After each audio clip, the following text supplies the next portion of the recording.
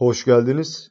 Burada anlatılanlar yatırım tavsiyesi değildir. Kimseye al ya da sat demiyoruz. Karnınızdan da zararınızdan da sorumlusunuz.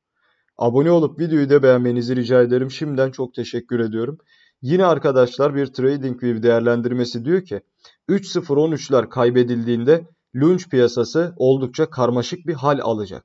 Şimdi e, bir kere yani 3.0-13'lerden ziyade biraz şöyle biraz daha gittiğimizde normal kabul ettiğimiz 12-2, 12-3'leri e, aslında burada gösterebiliriz. Zira bir önceki kalkış noktasını hedef gösteriyor ki 16'ların ne kadar kuvvetli olduğunu gördük. Ama Bitcoin'de çok ciddi bir çakılma buralara kadar sebebiyet yine verilebilir ve e, bu normal kabul edilebilir arkadaşlar.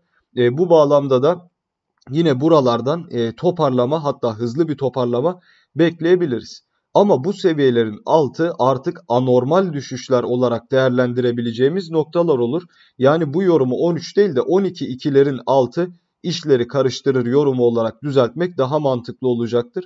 Böyle bir durumda 102'lere kadar bir düşüş vaat eder ki anormal olan durum bu olacaktır aslında genel itibariyle ve üzerindeki bu e, genel yükseliş etabına ne yapacaktır arkadaşlar? Bir e, şey diyebiliriz yani bu kadar elde tutma oranları müsaade etmemesi gerekiyordu diyebiliriz.